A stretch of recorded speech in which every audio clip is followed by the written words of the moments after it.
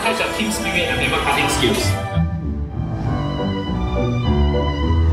okay, this one is okay. One, two, both correct. Okay, let's, yeah. let's look at team minor. Huh? Okay, one correct. The other one also correct. All right, congratulations. Today I shall teach you how to cook fish curry. Ah, it's not the your home curry.